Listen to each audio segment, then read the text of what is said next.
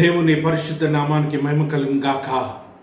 మన తండ్రి అయిన దేవుని నుండి మన ప్రభు యేసు క్రీస్తు నుండి కృపా సమాధానములు మనందరికీ కలుగును గాక. ఆమెన్. దేవుని ప్రియ పరిశుద్ధ సంగమా మన జీవితంలో మరొక విశ్రాంతి దినంన పరిశుద్ధ దేవుణ్ణి ఆరాధించే గొప్ప భాగ్యము గొప్ప ఆధిక్యత దేవుడు మనకు దయచేసిన విధానంను బట్టి మనమందరము దేవాది దేవునికి వందనాలు స్థుతి స్తోత్రము చెల్లించవలసి ఉంటున్నాం. ఈస్టర్ పండగ తర్వాత ఐదవ ఆదివారంలో మనం ప్రవేశించాం. ఈ సందర్భంగా మనము ధ్యానం చేయవలసిన అంశము Christ invitation to be an expression of mission. ప్రేషితోద్యమం ద్వారా క్రీస్తు యొక్క ఆహ్వానాన్ని వ్యక్తపరచుట అనే అంశాన్ని ఈ యొక్క సమయంలో మనం ధ్యానం చేస్తూ ఉంటాం. ఈ అంశాన్ని ధ్యానం చేయడానికి నాలుగు పాఠ్య భాగాలు మనం చదువుకున్నాం. ఎజకేల్ గ్రంథము ముప్పై నాలుగవ అధ్యాయము ఇరవై ఐదవ వచనం నుంచి ముప్పై ఒకటో వచనం వరకు చదువుకున్నాం. దావిదు మహారాజు రచించిన కీర్తనలు నలభై ఏడవ సంకీర్తన చదువుకున్నాం. పేతురు రాసిన మొదటి పత్రిక రెండవ అధ్యాయము మొదటి పది వచనాలు చదువుకున్నాం. పరిశుద్ధుడైన యోహాను రాసిన స్వార్థ ఇరవయవ అధ్యాయము పంతొమ్మిది వచనం నుంచి ఇరవై మూడు వచనాలు మనం చదువుకున్నాం. ఈ భాగాలలో ఉంటున్న గూఢార్థాలు ఈ భాగాలలో ఉంటున్న లోతైన సత్యాలు ఈ భాగాలలో ఉంటున్న మర్మాలను దేవుడు మనకు బయలుపరచాలని వాక్యంలో ఉంటున్న లోతైన అర్థాలు తెలుసుకొని వాక్యంలో ఉంటున్న అనేకమైన మర్మాలు తెలుసుకొని ఏ రీతిగా ప్రేషితోద్యమం ద్వారా మనము క్రీస్తు యొక్క ఆహ్వానాన్ని వ్యక్తపరచగలుగుతాం అనే అంశాన్ని మనం ధ్యానం చేయవలసి ఉంటున్నాం. ప్రేషితోద్యమము సువార్త పరిచర్య. సువార్త పరిచర్యను మనం ఏ రీతిగా జరిగించాలి? క్రీస్తు యొక్క ఆహ్వానాన్ని పొందుకున్న మనము మన స్వార్థ పరిచర్య ద్వారా క్రీస్తు ఆహ్వానము ఏ రీతిగా వ్యక్తపరచాలి?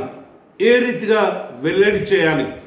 క్రీస్తు ప్రభువారు మనల్ని ఆహ్వానించిన ఈ పరిశుద్ధ పరిచర్యలో మనము ఏ రీతిగా పరిశుద్ధంగా పాల్గొంటూ దేవుని యొక్క ఉన్నతమైన పిలుపును వ్యక్తపరచాలి అనే అంశాన్ని మనం ధ్యానం చేసుకునవలసి ఉంటున్నాం. క్రీస్తు ఆహ్వానము సువార్త భాగాలలో మనం చూసినట్టయితే నాలుగు సువార్తలలో కూడా చివరి భాగంలో మనం చూసినట్టయితే యేసు క్రీస్తు ప్రభుల వారు పరిశుద్ధ పరిచర్యకు పిలుపు ఇచ్చినట్టుగా మనం అక్కడ చూస్తూ ఉంటున్నాం.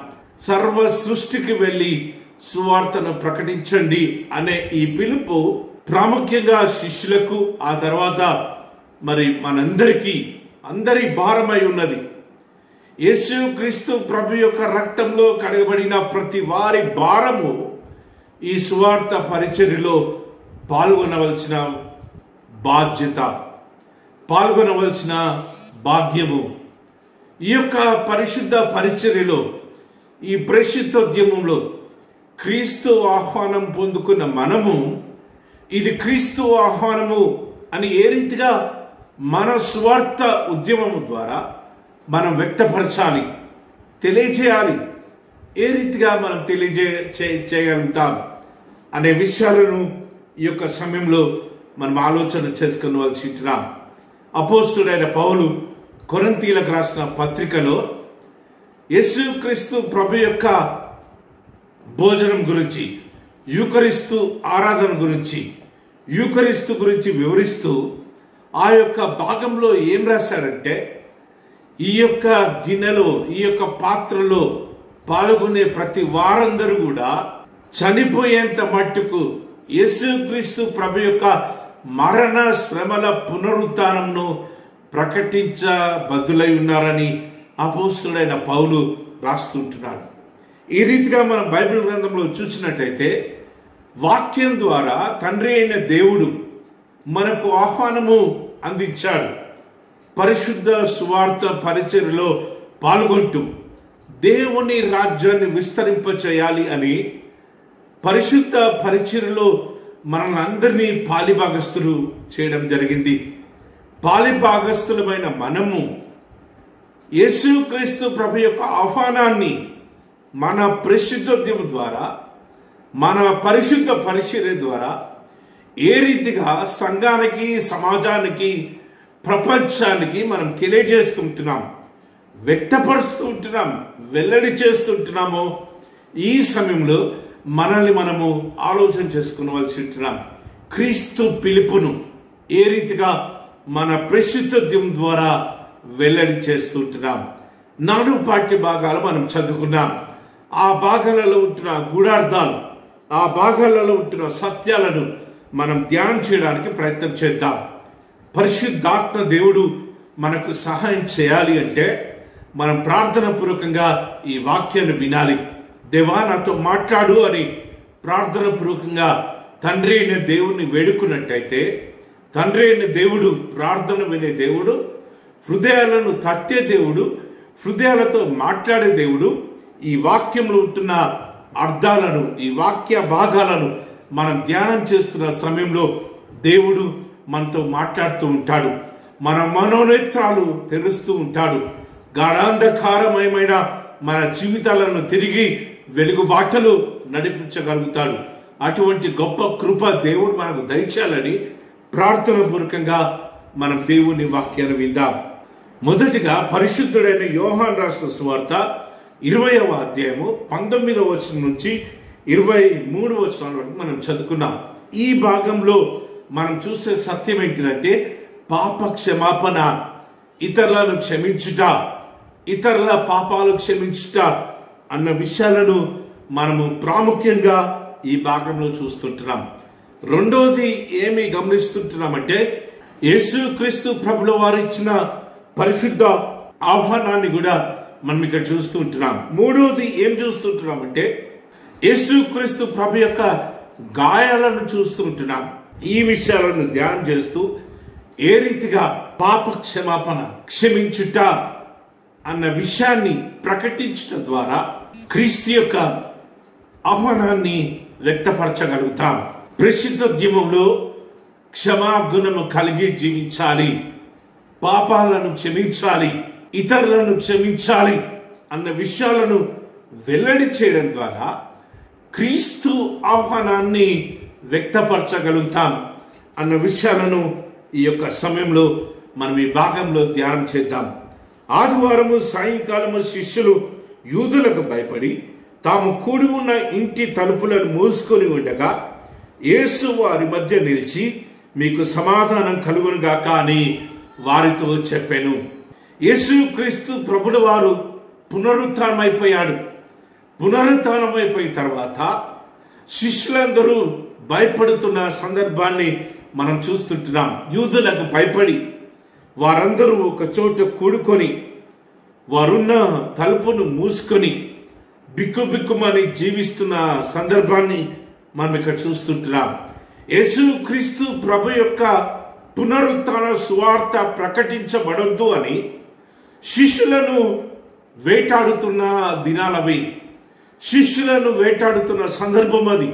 శిష్యుల ద్వారా యేసుక్రీస్తు ప్రభు యొక్క పునరుత్న సువార్త ప్రకటించబడొద్దని శిష్యులను పట్టుకొని బంధించి చంపేసేయాలని శాస్త్రులు పరిచయులు యూదులు మత పెద్దలు మతాధికారులు యాజకులు పరిచయులు వారి గురించి వెంటాడుతున్న దినాలలో సందర్భంలో వారందరూ ఒక ఇంట్లో చేరి బిక్కుబిక్కుమని భయపడుతూ జీవిస్తున్న సందర్భంలో యేసుక్రీస్తు ప్రభుల వారు వారికి ప్రత్యక్షమై మీకు సమాధానం కలుగును గాక అని దేవుడు వారికి మొట్టమొదటిగా సమాధానాన్ని ఇచ్చినట్టుగా మనం చూస్తుంటున్నాం.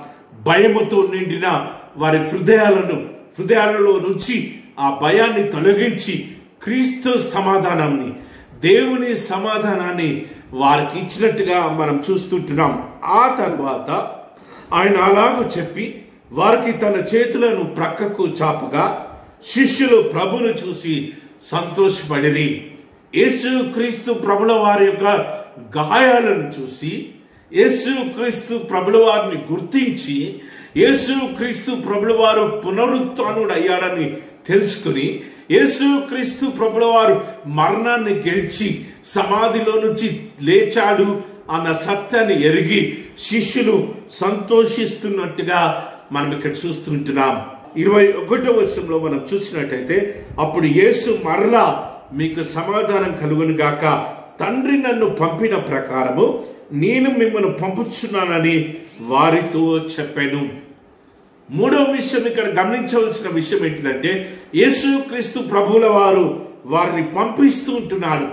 సువార్త పరిచర్య కోసము ప్రసిద్ధోద్యమం కోసము పునరుత్థాన సువార్త ప్రపంచపు నలుమూలలకు చాటడానికి ఈ యొక్క శిష్యులను బలపరుస్తున్న విధానాన్ని ఈ శిష్యులను పంపిస్తున్న విధానాన్ని సమాధానముతో వారి హృదయాలను నింపి వారిని ఎంపవర్ చేసి వారిని బలపరిచి వారి ముందుంటున్న పరిచర్యకు సంసిద్ధం చేస్తున్న భాగాన్ని మనం ఇక్కడ చూస్తుంటున్నాం. ఇరవై రెండవ వచనంలో ఇరవై రెండవ వచనం మనం చూద్దాం.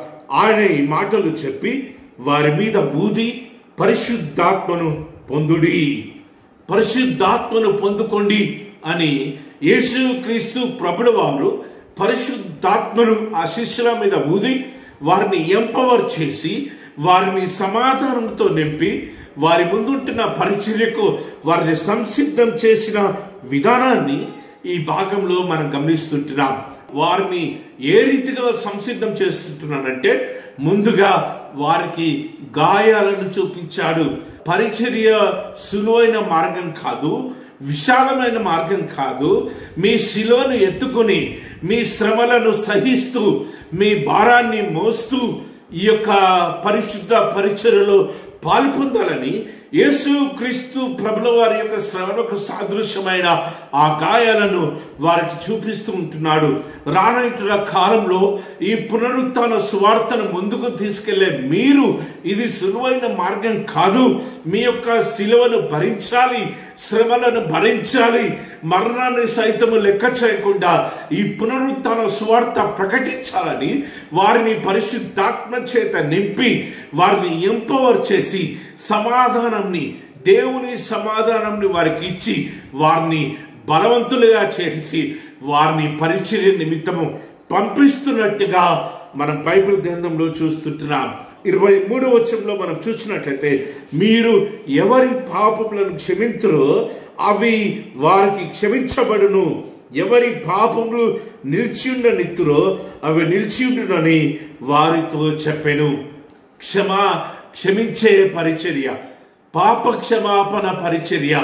పాపాలను క్షమించే పరిచర్యలో శిష్యులను ప్రాముఖ్యంగా ముందుకు సాగిపోవాలని దేవుడు వారితో మాట్లాడుతున్నట్టుగా మనం చూస్తుంటున్నాం. ఈ ప్రసిద్ధోద్యమంలో క్రీస్తు ప్రభుల వారి చేత ఆహ్వానించబడ్డ మనము క్రీస్తు ఆత్మ చేత నింపబడిన మనము క్రీస్తు ద్వారా ప్రోత్సహించి పరిశుద్ధ పరిచర్యలోకి పంపించబడ్డ మనము మొదటిగా మనం చేయవలసిన పరిచర్య ఏంటిదంటే పాపాలను క్షమించే పరిచర్య ఇతరులను క్షమించే పరిచర్య. యేసు రక్తంలో పాపక్షమాపణ ఉంది అని వెల్లడి పరిచే పరిచర్య. అలాంటి పరిచర్యను వ్యక్తపరిచే వారిగా మనం ఉండాలని ఈ యొక్క సమయంలో దేవుని వాక్యం చేత హెచ్చరించబడుతున్నాం. ఏసయ్య రక్తంలో పాపక్షమాపణ ఉంది ఏసయ్య రక్తంలో స్వస్థత ఉంది. ఏసయ్య రక్తంలో శక్తి ఉంది. ఏసయ్య రక్తంలో బలం ఉందని వారి వారు తెలిసి తెలియక చేసిన పాపాలను క్షమించే దిశగా వారు వారు తెలిసి తెలియక చేసిన పాపాలను ఏసయ్య రక్తంలో క్షమించుకునే దిశలోకి నడిపించే వారిగా మనం ఉండాలి అని ఈ యొక్క సమయంలో దేవుని వాక్యం చేత హెచ్చరించబడుతున్నా ఏసయ్య రక్తంలో పాప క్షమాపణ ఉంది. ఏసయ్య రక్తం ద్వారానే పాపాలు క్షమించబడతాయి. ఇప్పటి వరకు తెలిసి తెలియక ఎన్ని పాపాలు చేసినా పర్వాలేదు.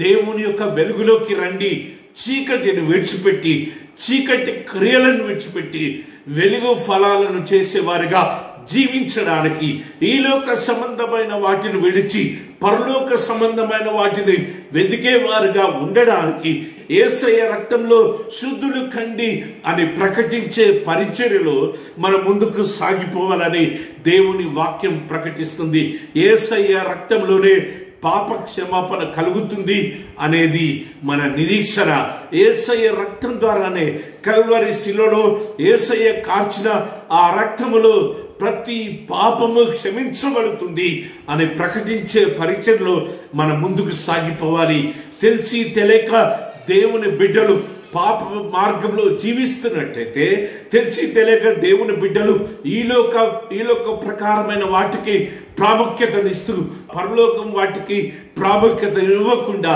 జీవిస్తున్నట్టయితే చీకటి క్రియలో బ్రతుకుతున్నట్టయితే అంధకార క్రియలో బ్రతుకుతున్నట్టయితే విచ్చలవిడి జీవితంలో జీవిస్తున్నట్టయితే వారందరినీ ఏసయ్య రక్తంలో కనుక్కోండి. ఏసయ్య రక్తంలో పాపాలు క్షమించబడతాయి. ఏసయ్య రక్తంలో మీరందరూ శుద్ధీకరించబడతారు. ఏసయ్య రక్తంలోనే మనమందరము శుద్ధీకరించబడతాం అన్న సువార్తను ప్రకటించే వారిగా మనమందరము ఉండాలని ఈ భాగం ద్వారా దేవుని వాక్యం హెచ్చరించబడుతుంది. మొదటి విషయం ఏంటిదంటే పరిశుద్ధ పరిచర్యలో ఉన్న వారు తెలుసుకోవాల్సిన విషయం ఏంటిదంటే ఏసయ్య తన గాయాలను చూపించింది శిష్యులకు ఎందుకు అంటే ఈ పరిశుద్ధ పరిచర్యలో హింసించబడతారు. ఈ పరిశుద్ధ పరిచర్యలో నలగొట్టబడతారు. ఈ పరిశుద్ధ పరిచర్యలో అవమానపరచబడతారు. ఈ పరిశుద్ధ పరిచర్యలో గాయాల పాలవుతారు. ఈ పరిశుద్ధ పరిచర్యలో మరణానికి సైతము అప్పగించబడతారు. వాటన్నిటికీ సంసిద్ధం కావాలి. వాటన్నిటిని తట్టుకొని జీవించాలి. వాటన్నిటి ఎదుర్కొంటూ ముందుకు సాగిపోవాలని శిష్యులకు తన గాయపడ్డ హస్తాలను తెలియజేస్తున్న విధానాన్ని మనం ఈ భాగంలో చూస్తుంటున్నాం. పరిశుద్ధ పరిచర్యకు సంసిద్ధమైన వారు తెలుసుకోవాల్సిన విషయం ఏంటంటే పాప క్షమాపణ సువార్తను ప్రకటించాలి. ఏసయ్య రక్తంలోనే మనమందరం క్షమించబడతాం అన్న పరిచర్య క్షమ క్షమించే పరిచర్యను ముందుకు తీసుకెళ్ళాలి. మరి ఈ విషయాలను మనం తెలుసుకోవలసి మనం ఇతరులను క్షమించాలి. అప్పుడే క్రీస్తు మనల్ని క్షమిస్తాడని సువార్తను మనం ప్రకటించాలి. పరలోక ప్రార్థనలో మనం ఏం నేర్చుకున్నామంటే ఏసయ్య మా రుణస్తులను మేము క్షమించిన ప్రకారము మా రుణములను క్షమించండి అని ప్రతి దినము ప్రార్థన చేస్తూ ఉంటాం. మన రుణస్తులను మనం క్షమించాలి. మన మన శత్రువులను మనం క్షమించాలి. మనల్ని ఆటంకపరిచిన వారిని మనం క్షమించాలి. మనల్ని ద్వేషించిన వారిని క్షమించాలి. మనల్ని ఇష్టపడని వారిని క్షమించాలి. మన మీద నెప్పములు మోసిన వారిని క్షమించాలి. అప్పుడే ఆ తండ్రి అయిన దేవుడు తన యొక్క కుమారుడి ద్వారా ఆ కుమారుడు కార్చిన రక్తంలో మన పాపాలను కడిగి మనల్ని క్షమిస్తాడన్న సత్యాన్ని మనం తెలుసుకొని ఆ రీతిగా జీవించబద్దులమై ఉన్నాము. రెండవ భాగంలో పేతురు రాసిన మొదటి పత్రిక రెండవ అధ్యాయం మొదటి పది వచనాలు మనం చదువుకున్నాం. ఈ భాగంలో మనం నేర్చుకోవాల్సిన విషయం ఏంటిదంటే మొదటిగా మనం దేవుని బిడ్డలుగా మారిపోవాలి. దేవుని బిడ్డలుగా జీవిస్తూ యేసు క్రీస్తు ప్రభుల వారు మనకిచ్చిన ఆహ్వానము ద్వారా మన స్వార్థ పరిచయను వ్యక్తపరచాలి అన్న విషయాలను మనం తెలుసుకోబోతుంటున్నాం. దేవుని బిడ్డలుగా మారిపోవాలి. పాపపు జీవితాన్ని విడిచిపెట్టి ఈ లోక ప్రకారమైన జీవితాన్ని విడిచిపెట్టి దేవుని బిడ్డలుగా రూపాంతరపరచబడాలి అని ప్రేషితోద్యంలో పాల్గొనే ప్రతి ఒక్కరికి దేవుని వాక్యం హెచ్చరిస్తుంది. దేవుని బిడ్డలుగా మారిపోయిన తర్వాతనే ప్రేషితజ్ఞం ద్వారా క్రీస్తుకి కాఫానాన్ని వ్యక్తపరచగలుగుతూ ఉంటాం.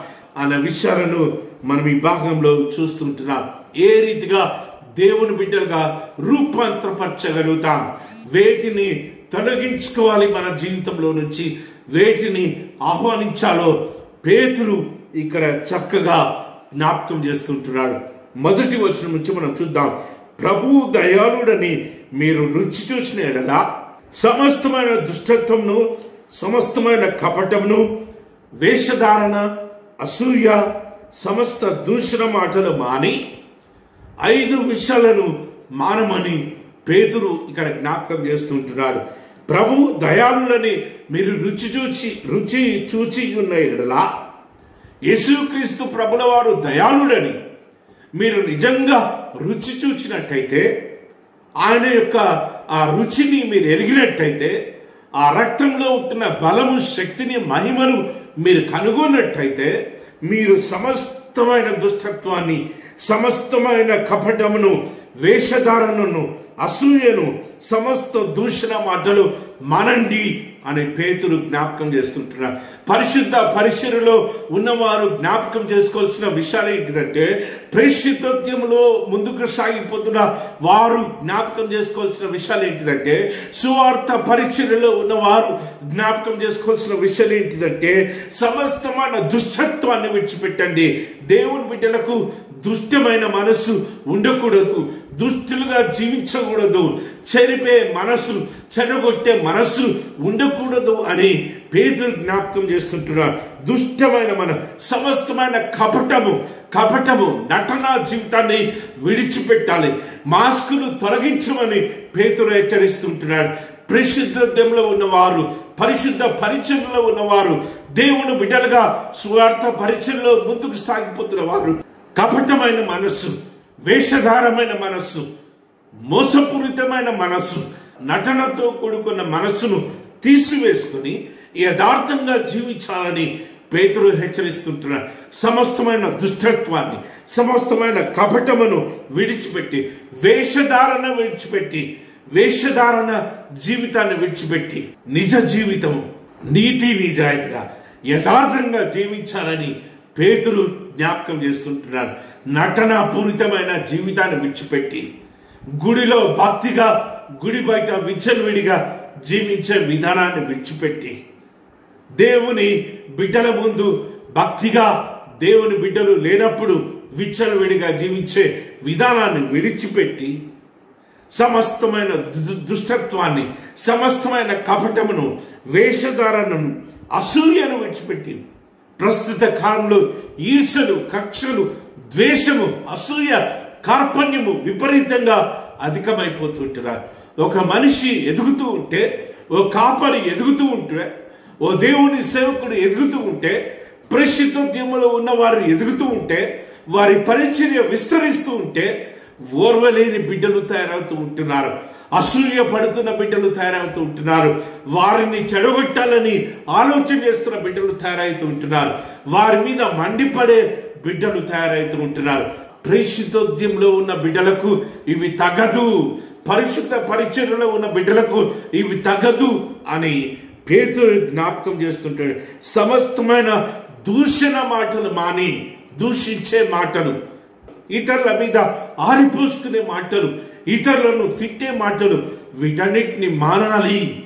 పరిశుద్ధ పరిచర్లో ఉన్నవారు దేవుని స్వార్థ పరిచర్లో ఉన్నవారు యేసుక్రీస్తు ప్రభు యొక్క ఆహ్వానాన్ని పొందుకొని పరిశుద్ధ పరిచర్లో ముందుకు సాగిపోతున్న బిడ్డలకు ఉండవలసిన పరిశుద్ధమైన లక్షణాలను ఇక్కడ జ్ఞాపకం చేస్తుంటున్నాడు.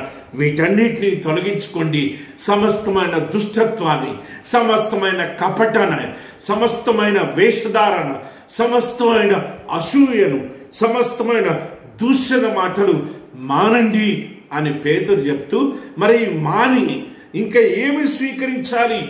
మూడవ వచనం. క్రొత్తగా జన్మించిన శిష్యులను పోలిన వారే నిర్మలమైన వాక్యమను పాలన వలన రక్షణ విషయంలో ఎదుగు నిమిత్తము ఆ పాలను ఆపేక్షించండి.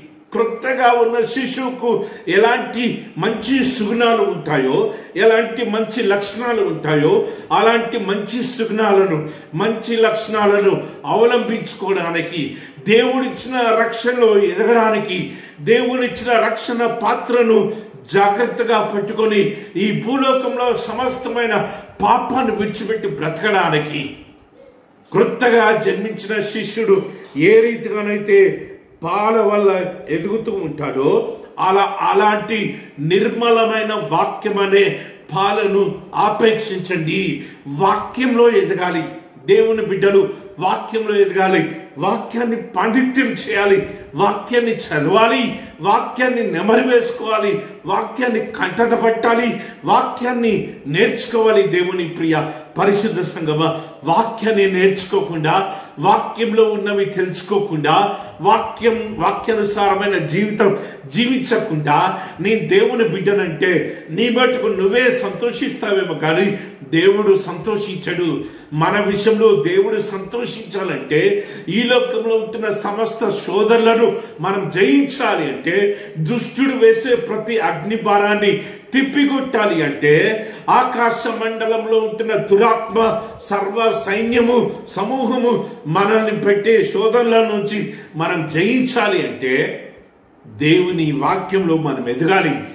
నిర్మలమైన దేవుని వాక్యం అనే ఆ బాలతో మనం ఎదగాలి. దేవుని వాక్యంలో ఎదగాలి. ఏ రీతిగానైతే ఫిజికల్ స్ట్రెంగ్త్ కోసము ఈడొక పరమైన ఆహారాన్ని సేవిస్తూ ఉంటామో ఆత్మీయంగా బలపడటానికి ఆత్మీయంగా ఉజ్జీవింపబడటానికి ఆత్మీయంగా ఎప్పటికీ బలంగా ఉండడానికి ప్రతి శోధనలో నుంచి జయించబడటానికి దుష్టుణ్ణి దుష్టుడితో పోరాడటానికి మనకు ఆ పరిశుద్ధాత్మ సహాయము ఎప్పటికీ కావాలంటే వాక్యంలో ఎదగండి. వాక్యంలో జీవించండి వాక్యంలో బ్రతకండి అని పేతురు జ్ఞాపకం చేస్తుంటున్నాడు.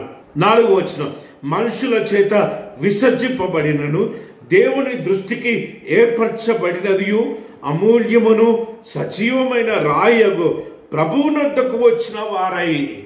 ప్రభువునొద్దకు రావాలి.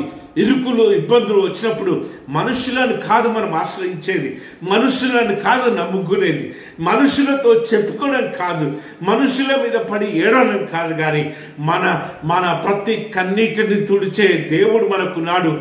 ఆనంద బాష్పాలనిచ్చే దేవుడు ఉన్నాడు. కన్నీటిని తుడిచి ఆనంద బాష్పలిచ్చే దేవుని దగ్గరికి రండి అని అపోస్తుడైన పౌలు ఆ పేతుడు జ్ఞాపకం చేస్తుంటున్నా విశ్వాసానికి కర్తయు దానిని కొనసాగించు వారైన యేసు వైపు చూస్తూ మేముంచబడిన పరిపందంలో ఓపికతో సహనంతో పరిగెత్తండి అనే వాక్యాన్ని మనం జ్ఞాపకం చేసుకోవాలి. యేసు క్రీస్తు ప్రభు రండి. ఆ సజీవమైన రాయగు ప్రభునుద్దకు వచ్చి ప్రభు మీద ఆనుకొని జీవించండి. ఇరుకులు ఇబ్బందులు శ్రమలు అవమానము దుఃఖము కన్నీరు ఇవన్నీ ఎదురవుతున్నప్పుడు ఇవన్నీ భరించలేని స్థితిలో ఉన్నప్పుడు నువ్వు రావాల్సింది ఎక్కడికంటే నువ్వు వెళ్ళవలసింది ఎక్కడికంటే పరిశుద్ధ దేవుని దగ్గరికి కల్వరి శిలువలో రక్తాన్ని ధరలు కార్చిన ఏసయ్య దగ్గరికి రమ్మని పేతురు పిలుస్తుంటున్నాడు ఆ సజీవమైన రాయి యొద్దకు మీరు వెళ్ళండి.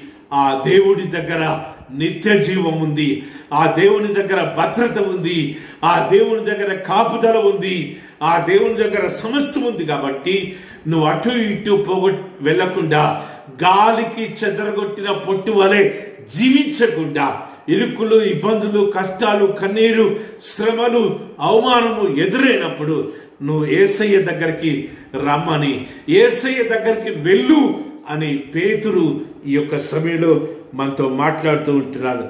తొమ్మిదవ వచ్చిన మనం చూద్దాం. అయితే మీరు చీకటిలో నుండి ఆశ్చర్యకరమైన తన వెలుగులోకి మిమ్మును పిలిచిన వాని గుణాతిశయములను ప్రచురం చేయ నిమిత్తము పరిశుద్ధ పరిచర్యలో ఉన్న వారి బాధ్యత ఏంటిదంటే యేసు క్రీస్తు ప్రభు ద్వారా ఆహ్వానం పొందుకొని పరిశుద్ధ పరిచర్యలో వెల్లడి చేయవలసిన విషయం ఏంటిదంటే దేవుని గుణాతిశయాలను వెల్లడిపరచాలి. దేవుని గుణగణాలను వెల్లడిపరచాలి. మన ద్వారా మన మాటల ద్వారా మనం జీవించే జీవిత విధానం ద్వారా మన తీర్పు ద్వారా మన ఆలోచనల ద్వారా ప్రభుకి మహిమ కలగాలి. ప్రభు యొక్క గుణగణాలు మన జీవితంలో కనిపించాలని అపోస్తుడైన పౌలు రాస్తుంటున్నాడు. అయితే చీకటిలో నుండి ఆశ్చర్యకరమైన తన వెలుగులోనికి మిమ్మల్ని పిలిచిన వాని గుణాతిశయములను ప్రచురం చేయ నిమిత్తము మనల్ని దేవుడు ఎందుకు పిలిచాడంటే చీకటిలో నుంచి పాపపు ఊపిలో నుంచి దేవుడు మనల్ని ఈ వెలుగులోకి ఎందుకు పిలిచాడంటే ఆయన రక్తంలో మనల్ని ఎందుకు కడిగాడంటే ఈ తెల్లని వస్త్రాల చేత ఎందుకు అభిషేకించాడంటే ఆ పరిశుద్ధాత్మ శక్తిని దేవుడు మన ఎందుకు దయచేశాడంటే పరిచర్యలో ఆయన కృపలను ఆయన ఆశీర్వాదాలను మన మీద ఎందుకు కుమరిస్తున్నాడంటే సమస్తమైన దుష్టత్వాన్ని విడిచిపెట్టి సమస్తమైన కపటమును విడిచిపెట్టి సమస్తమైన వేషధారణ విడిచిపెట్టి సమస్తమైన అసూయను విడిచిపెట్టి సమస్తమైన దూషణ మాటలు విడిచిపెట్టి యేసు క్రీస్తు ప్రభు యొక్క గుణాతిశయాలను ప్రచురము చేసే దిశగా ఆయన గుణగణాలను ప్రచురం చేసే దిశగా మనం బ్రతకాలని అపూస్తుడైన పేతులు జ్ఞాపకం చేస్తుంటున్నారు చీకటిలో నుంచి వెలుగులోకి ప్రభు మనల్ని నడిపించింది. చీకటిలో ఉంటున్న అనేక మంది బిడ్డల్ని వెలుగుబాటులో నడిపించడానికి పరిశుద్ధాత్మ శక్తిని పొందుకున్న మనము జీవించవలసిన జీవిత విధానము ఏ రీతిగా ఉండాలంటే మన జీవిత విధానం ద్వారా ప్రభు యొక్క గుణగణాలను ప్రభు యొక్క గుణాతిశయాలను మనం ప్రచురం చేయాలి వాటిని ప్రకటించాలి. వాటిలో పరిశుద్ధ సంఘాన్ని దేవుని బిడ్డలు జీవించమని మనం హెచ్చరించే వారిగా మనం ఉండ ఉండడానికి దేవుడు మనకి మంచి మంచి నామకరణ చేశాడు మంచి మంచి బిరుదులు ఇచ్చాడు. ఏర్పరచబడిన వంశము రాజులైన యాజక సమూహమును పరిశుద్ధ జనమును దేవుని సొత్తైన ప్రజ ఉన్నారు. ఎంత చక్కటి బిరుదులు ప్రభు మనకిచ్చాడంటే ఎందుకు మనకిచ్చాడంటే ఆ ప్రభు యొక్క గుణాతిశయాలను ప్రచురించడానికి చీకటిలో నుంచి వెలుగులోకి మనల్ని ఎందుకు తీసుకొచ్చాడంటే పాపపు ఊపిలో నుంచి ఏసయ్య రక్తంలో కడిగి పరిశుద్ధపరిచి ఈ యొక్క నామాలను ఏర్పరచబడిన వంశంగా దేవుడు మనల్ని ఎందుకు ఏర్పరచుకున్నాడంటే రాజులైన యాజక సమూహంగా దేవుడు మనల్ని ఎందుకు ఎంచుకున్నాడంటే పరిశుద్ధ జనమని దేవుడు మనకి ఎందుకు బిరుదు ఇచ్చాడంటే దేవుని సొత్తైన ప్రజలై ఉన్నారని దేవుడు ఎందుకు మనల్ని తనవారిగా ముద్రించాడంటే ఒకప్పుడు ప్రజగా కాకుండా దేవుని బిడ్డలుగా ఉండడానికి దేవుడు ఎందుకు కృపనిచ్చాడంటే ఆయన యొక్క ఉన్నతమైన గుణగణాలను ప్రచురించడానికి ఆయన గుణాతిశయాలను ప్రచురపరచడానికి దేవుడు మనల్ని ఏర్పరచాడు ఏర్పరచుకున్నాడు. ఆయన రక్తంలో కడిగాడు చీకటిలో నుంచి వెలుగులోకి నడిపించాడు అన్న సత్యాలను ఎప్పటికి కూడా మనం మర్చిపోవడానికి వీలు లేదు దేవుని ప్రియ పరిశుద్ధ సంగమ చివరిగా ఒకప్పటి ప్రజగా ఉండకుండా దేవుని ప్రజ అయితిరి దేవుని బిడ్డలమైన మనం ఇప్పుడు ఒకప్పుడు దేవుని లే దేవుడు లేని వారిగా మనం జీవించాం. ఒకప్పుడు అంటరాని వారిగా సమాజంలో బ్రతికాము. ఒకప్పుడు ఆలయాలకి ప్రార్థన చేసుకోవడానికి వెళ్తే తరిమి కొట్టేవారు దేవుడు లేనిగా జీవించాం. సమాజంలో దిక్కులేని వారిగా బ్రతికాం. అంటరాని వారిగా బ్రతికాం. పశువుల వలె జంతువుల వలె మనల్ని ట్రీట్ చేసిన సందర్భాలు ఉన్నాయి దేవుని ప్రియ పరిశుద్ధ సంగమ. అలాంటి నీచమైన స్థితిలో నుంచి అలాంటి దౌర్భాగ్యమైన స్థితిలో నుంచి దేవుడు మనల్ని అమాంతము లేపి మిషనరీస్ వచ్చి ఇక్కడ సువార్త ప్రకటించినప్పుడు మిషనరీస్ వచ్చి ఈ వెలుగును మనకు చూపించినప్పుడు మిషనరీస్ వచ్చి ఈ వాక్యాన్ని మనకు ప్రకటించినప్పుడు మిషనరీస్ వచ్చి ఏసయ్య రక్తంలో ఉంటున్న బలమును శక్తిని స్వస్థతను మనకు చూపించినప్పుడు ఆ రక్షకుణ్ణి మన సొంత రక్షకుడుగా అంగీకరించినప్పుడు మన జీవితాలు మారిపోయాయి. గాఢాంధకారమయమైన మన జీవితాలలో దేవుడు తన వెలుగును నింపాడు తన తేజస్సును నింపాడు. దేవుని బిడ్డలుగా ముద్రించాడు. మనము దేవుని బిడ్డలమని చెప్పుకొని జీవించగలుగుతున్నారు ఏసయ్య రక్తంలో కలగబడిన వారు మనం జీవించగలుగుతున్నాం. ఒకప్పుడు దేవుడు లేని బిడ్డలుగా జీవించడం కానీ ఈ దినం జీవం గల దేవుణ్ణి ఆరాధించే బిడ్డలుగా జీవం గల దేవుని మహిమపరిచే బిడ్డలుగా జీవం గల దేవుని ప్రజలై జీవించే రీతిలో జీవం గల దేవుని బిడ్డల యొక్క సొత్తుగా జీవించే భాగ్యాన్ని దేవుడు మనకు ప్రకటించిన విధానాన్ని బట్టి దేవుడు మనకు దయచేసిన విధానాన్ని బట్టి ఎప్పటికీ మనం రుణపడి జీవించాలి. మనలో ఉంటున్న దుష్ట గుణాలను విడిచిపెట్టి పాపపు గుణాలను విడిచిపెట్టి ఈ లోక సంబంధమైన గుణాలను విడిచిపెట్టి శరీర క్రియలను విడిచిపెట్టి ఆత్మ ఫలమును అనుసరించేవారిగా ఆత్మసారంగా జీవించేవారిగా ఆత్మీయంగా బ్రతికేవారిగా దేవుని వెలుగులో నడిచేవారిగా దేవుని గుణాతిశాలను ప్రచురించేవారిగా మనం జీవించాలని ఈ సమయంలో దేవుని వాక్యం చేత హెచ్చరించబడుతున్న మూడవదిగా ఎజకేల గ్రంథం ముప్పై నాలుగవ అధ్యాయము ఇరవై ఐదవ వచనం నుంచి ముప్పై ఒకటవ వచనం వరకు మనం చదువుకున్నాం. ఈ భాగంలో మనం నేర్చుకునే విషయం ఏంటంటే పునరుద్ధరణ. పునరుద్ధరణ ద్వారా ప్రేషితోద్యమంలో పాల్గొనే మనము పరిశుద్ధ సువార్త పరిచర్లో ఉన్న మనము పునరుద్ధరణ జరిగించడం ద్వారా యేసుక్రీస్తు ప్రభు యొక్క పరిశుద్ధ ఆహ్వానాన్ని వెల్లడిపరచాలి పునరుద్ధరణ జరిగించాలి. ఈ భాగంలో మనం చూసినట్టయితే ఎజకీల ప్రవక్తతో సైతము యూదా వారందరూ అంటే ఇస్రాయేలీలందరూ కూడా చెరలో ఉన్నప్పుడు రాసిన ప్రవచన గ్రంథం ఇది. ఈ భాగము చెరలో ఉన్నారు ఇస్రాయేలీలందరూ. ఇస్రాయేలీలను పరిపాలించే రాజులు. ఎజకీల ప్రవక్త కూడా వారితో చెరలో ఉన్నప్పుడు ప్రవచించిన ప్రవచనము. ఏంటిది అంటే విశ్వాసంలో నుంచి వెళ్ళిపోకండి. విశ్వాసంలో జీవించండి. యేసు క్రీస్తు ప్రభుల వారు తండ్రి అయిన దేవుని ద్వారా తిరిగి సమస్తాన్ని పునరుద్ధరించే దేవుడు సమస్తాన్ని సమకూర్చే దేవుడు.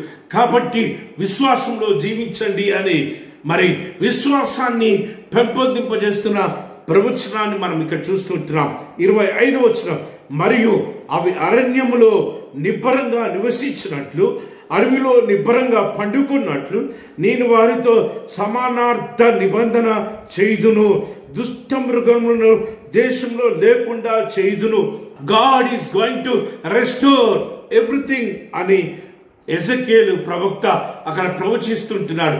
చెరులో ఉన్నాము మా యొక్క పట్టణాలన్నీ ధ్వంసించబడ్డాయి మా మందిరాన్ని కూల్చివేశారు మా ఇండ్లన్నీ కూల్చివేశారు మా జీవితాలు మరి బానిస జీవితాలు అయిపోయాయి. ఈ బానిస జీవితంలో నుంచి మాకు ఇంకెప్పుడు విడుదల కలుగుతుంది అని ఆలోచన చేస్తున్న ఇస్రాయేళ్ళకు ఎజకేల ద్వారా దేవుడు అందించిన వర్తమానం ఏంటిదంటే అడవిలో నిబ్బరంగా పండుకున్నట్లు అరణ్యంలో వారు నిబ్బరంగా పండుకున్నట్లు. అంటే క్రూర మృగాలు వచ్చి వారి మీద దాడి చేయకుండా దేవుడు అడవిలో సైతము ప్రశాంతంగా నిద్రించే పరిస్థితిని దేవుడు ఇస్రాయేలీలకు తిరిగి తీసుకొస్తానని వాగ్దానం చేస్తుంటున్నాడు అంటే సమస్తాన్ని దేవుడు తిరిగి పునరుద్ధరించే దేవుడు ఏదైతే కోల్పోయామని నువ్వు అనుకుంటున్నావో పరిశుద్ధ పరిచర్లో ఉన్నప్పుడు ఏదైతే కోల్పోయామని నువ్వు నువ్వు భావిస్తూ ఉంటున్నావో నువ్వు కుమిలిపోతుంటున్నావో నీకు రావాల్సిన దీవెలు రాకుండా మానవ శక్తులు అడ్డుపడుతున్నాయని నిరాశలో ఉంటున్నావేమో. ఈ సమయంలో దేవుడు నీతో మాట్లాడేది ఏంటిదంటే పరిశుద్ధ పరిచయలో ఉన్న దైవజనుడా దేవుడు నీతో మాట్లాడే మాట ఏంటిదంటే నిబ్బరం కలిగి ధైర్యంగా ఉండు. క్రూర మృగాలను దేశంలో లేకుండా చేసే దేవుడు అడవిలో సైతము నువ్వు నిబ్బరంగా సమాధానంగా ప్రశాంతంగా నిద్రపోయే పరిస్థితులను దేవుడు ఏర్పరిచే దేవుడు కాబట్టి సమకూర్చే దేవుడు కాబట్టి నేను సమకూర్స్తానని ఇస్రాయేలీలకు వాగ్దానం చేస్తుంటున్నాడు. వారిని నా పర్వతము చుట్టుపట్ల స్థలములను దీవెనకరంగా చేయుదును ఋతువుల ప్రకారము వర్షం కురిపించేదను దీవెనకరమగు వర్షంలు కురియును. ఇస్రాయేలీలకు వాగ్దానం చేస్తుంటున్నాడు. ఈ యొక్క ఎడారిలో ఎడారిమయమైపోయింది. మా దేశమంతా మా దేశమంతా కరుమయమైపోయింది. మా దేశంలో పంటలు లేవు. మా దేశంలో వర్షాలు లేవని కుమిలిపోతున్న ఇస్రాయేలీలతో దేవుడు మాట్లాడే మాట ఏంటంటే పర్వతము చుట్టూ సస్యశ్యామలమైన భూమిని ఏర్పరుస్తాను. పర్వతము చుట్టూ చెట్లు మొలిస్తే పరిస్థితులను ఏర్పరుస్తాను. ఋతుల ప్రకారము వాటి వాటి సీజన్స్ ప్రకారము వాటి వాటి డిసిప్లిన్ ప్రకారము వాటి వాటి ధర్మం ప్రకారము నేను వర్షాన్ని కురిపిస్తానని దేవుడు వాగ్దానం చేస్తుంటున్నాడు. దేవుని ప్రియ సువార్త పరిచారకుడా దైవజనుడా పరిశుద్ధోద్యములో సువార్త పరిచర్యలలో సమస్తాన్ని కోల్పోయాను అని నువ్వు దిగాలు పడుతున్నావేమో నువ్వు దిగులు పడుతున్నావేమో నువ్వు కన్నీటి లోయలో నడుస్తుంటున్నావేమో నువ్వు కన్నీటి లోయలో బ్రతుకుతున్నావేమో ఈ యొక్క సమయంలో దేవుడిచ్చే ఆదరణ ఏంటిదంటే దేవుడిచ్చే ఓదార్పు ఏంటిదంటే సమస్తాన్ని దేవుడు సమకూరుస్తానని వాగ్దానం చేస్తుంటున్నాడు. ఇస్రాయేలీలతో మాట్లాడుతున్న దేవుడు ఈ సమయంలో మనతో కూడా మాట్లాడుతుంటున్నాడు. ఫలవృక్షములను ఫలాలిచ్చును భూమి పంట పడును వారి దేశంలో నిబ్బరంగా నివసింతురు. నేను వారి వారి కాడి కట్లు తెంపి వారిని దాసులుగా చేసిన వారి చేతిలో నుండి వారిని విడిపించి నేనే యహోవానని వారు తెలుసుకుందరు. బానిస జీవితంలో నుంచి ఇస్రాయేలీలను విడిపిస్తానని దేవుడు జ్ఞాపకం చేస్తుంటున్నాడు. చెట్లు ఫలాలు ఫలాలు ఇచ్చే చెట్లకు ఫలాలు ఇవ్వాలి అని ఆజ్ఞాపిస్తానని దేవుడు జ్ఞాపకం చేస్తున్నాడు. పంట భూమి పంట పంటలని ఆజ్ఞాపిస్తానని జ్ఞాపకం చేస్తుంటున్నాడు. వారు దేశంలో నిబ్బరంగా నివసింతురు. నేను వారి కాడి కట్లను తెంపి వారిని దాసులుగా చేసిన వారి చేతిలో నుండి వారిని విడిపించి నేనే యహోవనై ఉన్నానని వారు తెలుసుకుందరు. ఇస్రాయేలీలు సమస్తాన్ని కోల్పోయి బబలోను చెరలో బానిస జీవితం జీవిస్తున్న వారి యొక్క జీవితాలలో నిరీక్షణ నింపడానికి ఎజ్రకేల్ ప్రవక్త ద్వారా దేవుడు ఇస్రాయేల్తో మాట్లాడుతుంటున్నాడు. నువ్వు పాప క్షమాపణ గురించి ప్రార్థించు. దేవా మేము తెలిసి తెలియక చేసిన మా పాపాలు క్షమించు అని ప్రార్థించు. విగ్రహారాధన జోలికి మేము వెళ్ళమని నువ్వు ప్రార్థించు.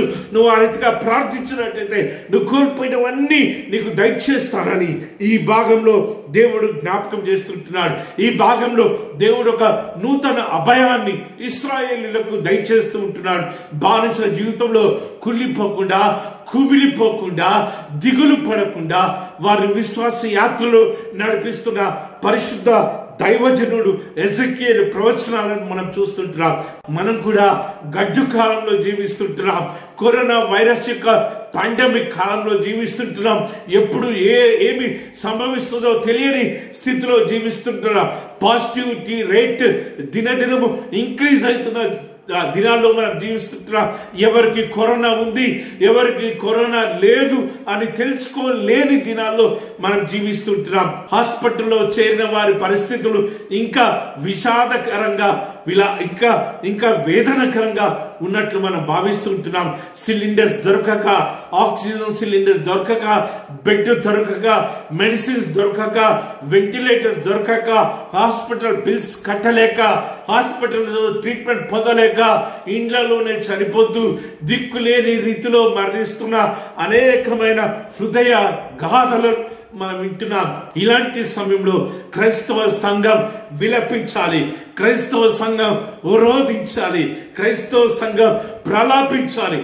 దేవుడు అలాంటి పరిస్థితులన్నింటినీ తొలగించి కరోనా వైరస్ నిర్మూలం చేసి తిరిగి యథాస్థితిని పునరుద్ధరించే దేవుడు యథాస్థితిని తీసుకొచ్చే దేవుడు కాబట్టి విశ్వాసంతో విశ్వాసంలో నుంచి సడలిపోకుండా విశ్వాసంతో దేవుణ్ణి మనం వేడుకోవాలని ఈ సమయంలో దేవుని వాక్యం చేత మనం హెచ్చరించబడుతున్న ప్రేషితోద్యమంలో ఉంటున్న వారు ప్రకటించవలసిన విషయం ఏంటిదంటే పునరుద్ధరణ. దేవుడు ఎప్పటికీ శిక్షించే దేవుడు కాదు. దేవుడు ఎప్పటికీ తెగులను పంపించే దేవుడు కాదు. దేవుడు ఎప్పటికీ మానవ జాతి మీద మరి విపరీతమైన అతివృష్టిని అనావృష్టిని తీసుకొచ్చే దేవుడు కాదు కానీ దేవుడు దయ కలిగిన దేవుడు దీర్ఘశాంతంతో నిండిన దేవుడు దేవుడు కనికరించే దేవుడు దేవుడు మరి కృప చూపించే దేవుడు కాబట్టి మనము ప్రార్థించినట్టయితే మనం పాప క్షమాపణ కోసం వేడుకున్నట్టయితే దేవుడు కోల్పోయినవన్నీ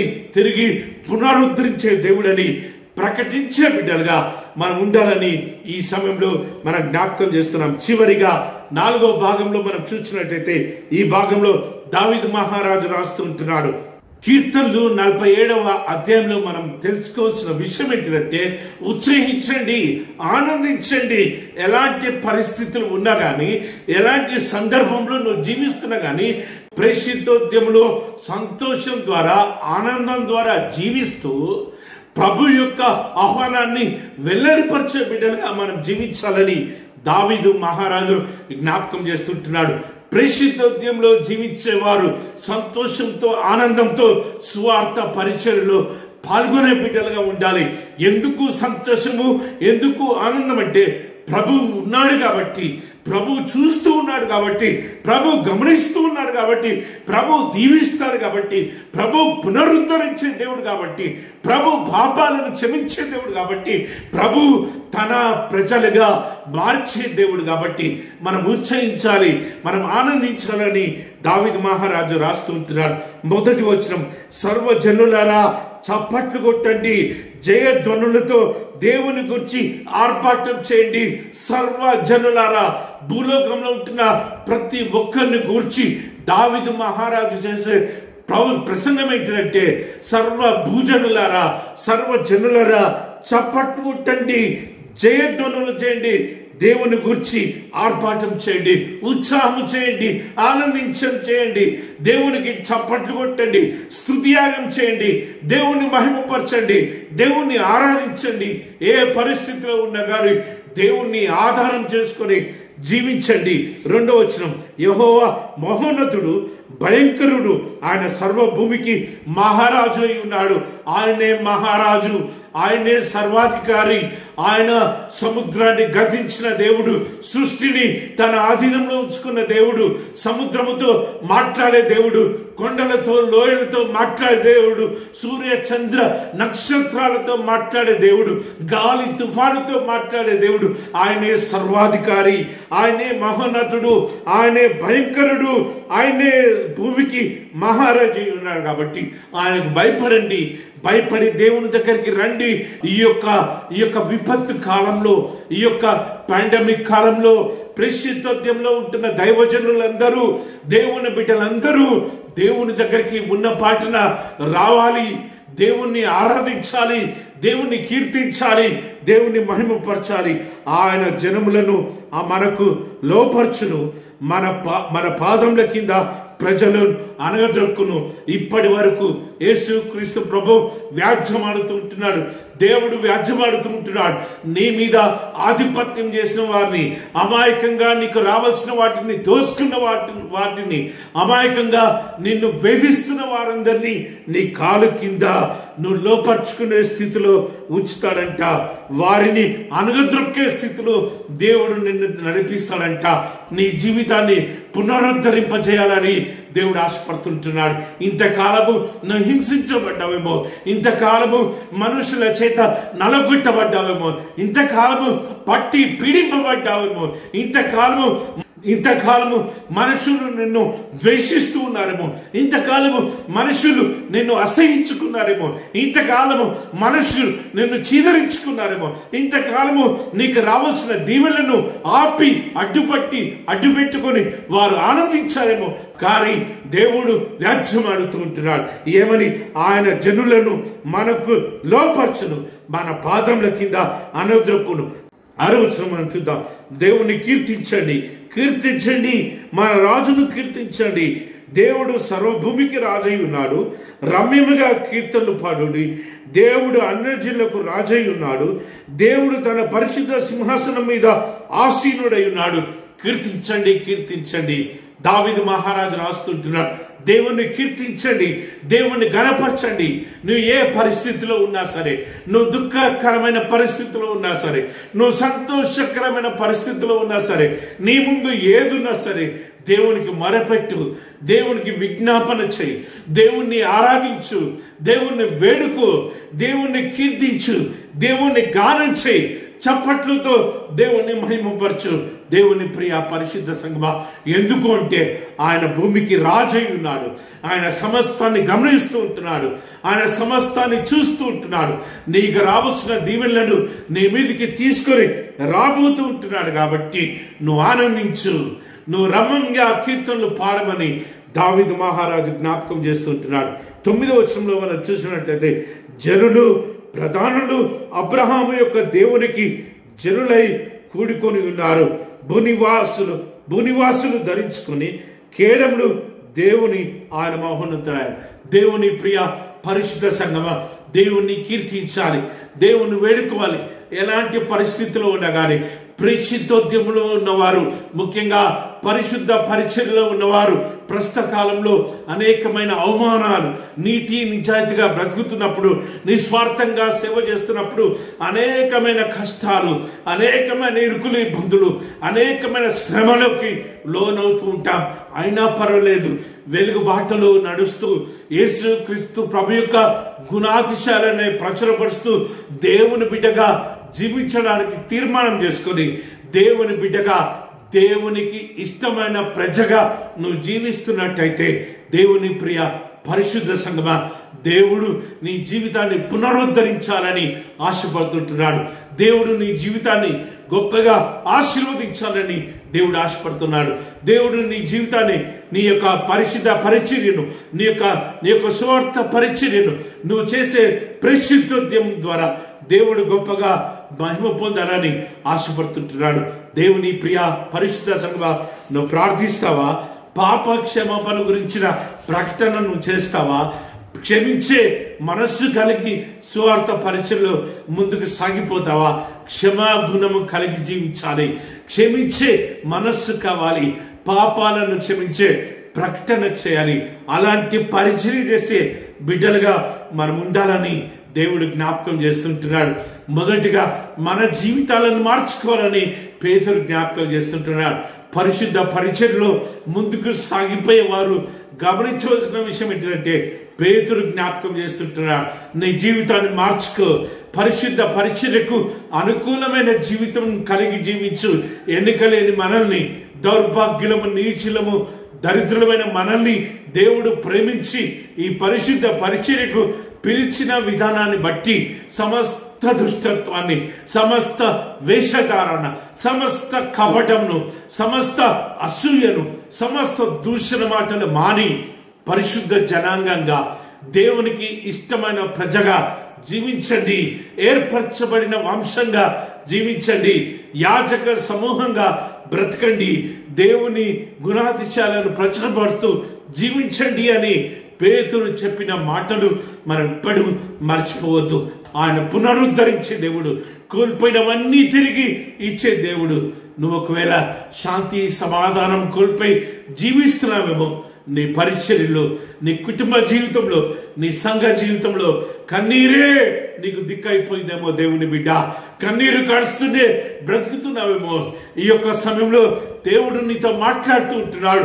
నీ యొక్క కన్నీటిని తొలగించి నిన్ను ఆనంద బాష్పాలు చెల్లించేవాడిగా ఆనంద బాష్పాలు కార్చే బిడ్డగా దేవుడు రూపాంతరపరచాలని ఆశపడుతున్నాడు. అయితే దావీదు చెప్పినట్టు జీవిద్దాం. దేవుణ్ణి కీర్తిస్తాం. సమయమందును అసమయమందును దుఃఖంలోను సంతోషంలోను శ్రమలోను ఉపద్రవంలోను ఇబ్బందులోను ఆటంకంలోను అవమానంలోను నిందలోను వీటన్నిటిని భరిస్తూ దేవుడు మనకిచ్చిన సిలువను ఎత్తుకుని దేవుణ్ణి ఆరాధిస్తాం. ఆత్మతో సత్యముతో దేవుణ్ణి కీర్తిస్తాం.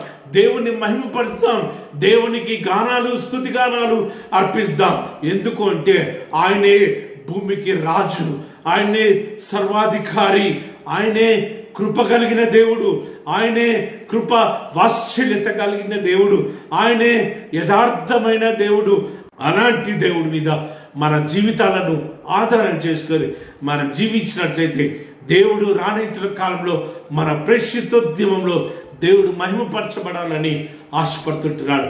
దేవుడు పిలిచిన ఆ ఉన్నతమైన పిలుపుకు తగిన జీవితం దేవుడు చీకటిలో నుంచి ఆశ్చర్యకరమైన తన వెలుగులోనికి మనల్ని పిలిచిన ఆ పిలుపును జ్ఞాపకం చేసుకుని ఒకప్పటి ప్రజగా జీవించకుండా ఏర్పరచబడిన వారమనే సంగతి గమనించి యాచక సమూహం అనే సంగతి గమనించి పరిశుద్ధ జనాంగం అనే సంగతి గమనించి దేవునికి ఇష్టమైన ప్రజ అయి ఉన్నామన్న సంగతి గమనించి ఆ రీతిగా పరిశుద్ధంగా జీవించడానికి దేవుడు మనందరికీ కృప దయచేది కాక ఆమెన్. తల నుంచి ప్రార్థన చేసుకుందాం. ప్రేమ నమ్మకం గల మా ఏసయ్య మా పర్లకు ప్రజ నీ వాక్యాన్ని బట్టి స్తోత్రం. విత్తబడిన వాక్యం పది కాలాల పాటు మా హృదయంలో పదిలపరుచుకొని వాక్యానుసారంగా జీవించడానికి నీ కృప దయచేయమని ప్రార్థన చేస్తున్నా.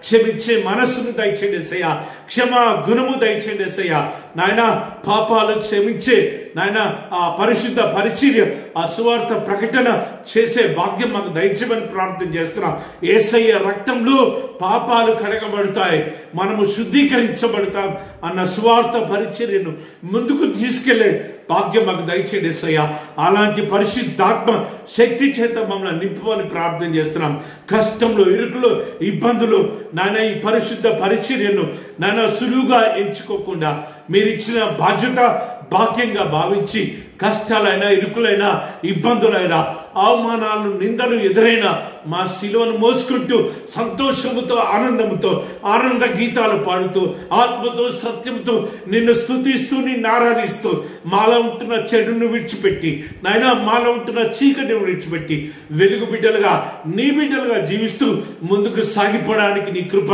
దయచేమని ప్రార్థన చేస్తున్నాం. ఇంకా చీకటిలో ఉంటున్న బిడ్డలు ఇంకా వెలుగులోకి రాలేకపోతున్న బిడ్డలు నాన్న ఇంకా పునరుత్థాన బలము శక్తిని ఎరగని బిడ్డలకు ఈ యొక్క సువార్తను ప్రకటించే సాధనాలుగా రానుంటున్న కాలంలో మమ్మల్ని బలంగా వాడుకోమని యేసు క్రీస్తు ప్రభు నామం పేరట ప్రార్థన చేస్తున్నాము తండ్రి. ఆమెన్.